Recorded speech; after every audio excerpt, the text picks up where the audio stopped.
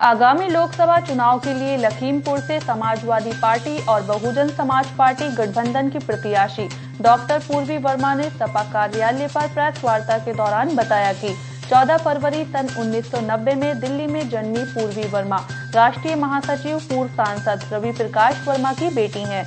उनके बाबा स्वर्गीय बाल गोविंद वर्मा खीरी लोकसभा से चार बार सांसद और केंद्रीय श्रम मंत्री रह चुके हैं डॉक्टर पूर्वी वर्मा की दीदी स्वर्गीय, उषा वर्मा भी खीरी लोकसभा से तीन बार सांसद रह चुकी हैं। एक प्रेस वार्ता के दौरान डॉक्टर पूर्वी वर्मा ने बताया कि उन्होंने पिछले लोकसभा चुनाव में खीरी लोकसभा क्षेत्र में लगभग 600 किलोमीटर की साइकिल यात्रा में सम्मिलित होकर युवाओं का आह्वान किया था।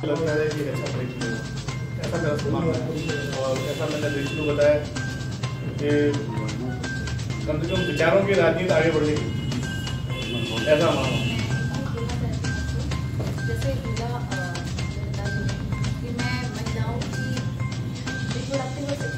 उनकी राइट्स और स्वायत्ता से ऑटोनॉमी में भी काम कर रही हूँ। और और कल ही हम लोगों को मौका मिला था माननीय राष्ट्रीय अध्यक्ष जी ने वहाँ पे आप लोगों को ज्ञात होगा शायद तक।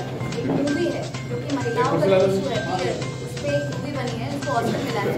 उसकी टीम कल वहाँ पे आई थी। उन्होंने उसको सम्मानित किया पूरी टीम को वो मूवी दिखाई। तो वही इशू पे हम लोग बहुत लंबे समय से काम कर कैसे लोगों के बीच जागरूकता फैलाना कि महिलाओं को सिर्फ़ सशक्तिकरण उनको नौकरी देना नहीं होता।